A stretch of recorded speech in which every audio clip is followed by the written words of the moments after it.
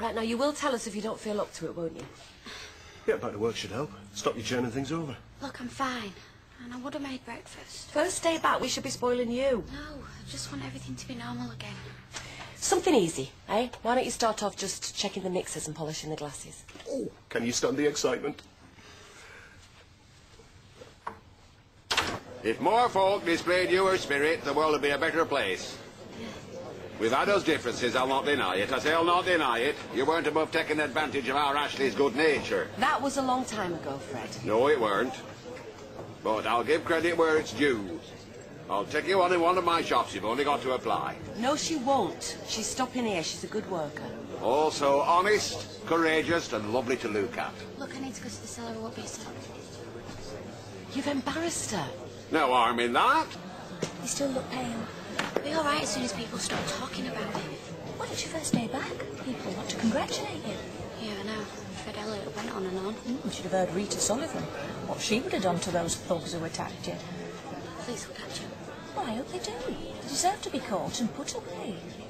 I mean, what sort of people are they? Staking out this place, waiting for two women to be on their own? They could have killed you. And Natalie. All for the sake of a few hundred pounds. I mean, I just don't know how they live with themselves. Listen, I could hardly go into our house after Des was attacked. It, it all comes back and slaps you in the face. I'm sorry. No, I'm sorry. I should have been more sensitive. I can't bear this anymore. Everything's my fault. No, it isn't. You did your best. You don't know what really happened. I know you risked your life.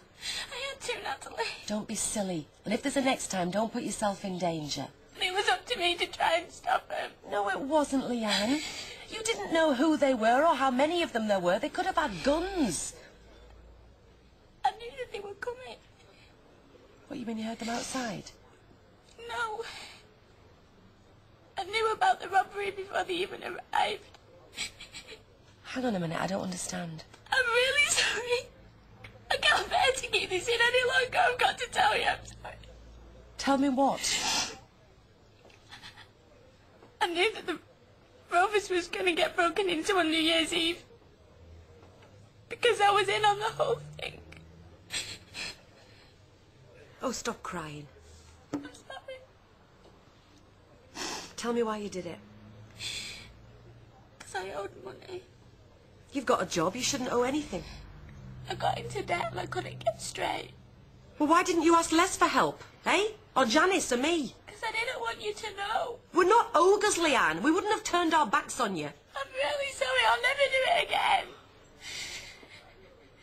How much was it? 500 quid. It's a lot of money.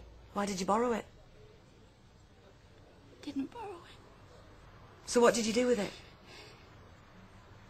I bought something. Well, I hope it was worth it. Wasn't.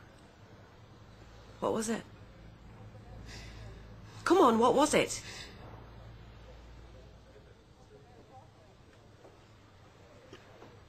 Not drugs. I'm really sorry, Natalie. I'm really, really sorry. You're sorry? What's the point of being sorry, Leanne? That doesn't help. I didn't know what I was doing. I have heard it all before and I don't want to hear it again.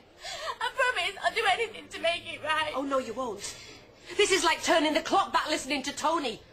So I'm going to tell you now what I told him then. Get out of my sight. Natalie, Go on, please. get out!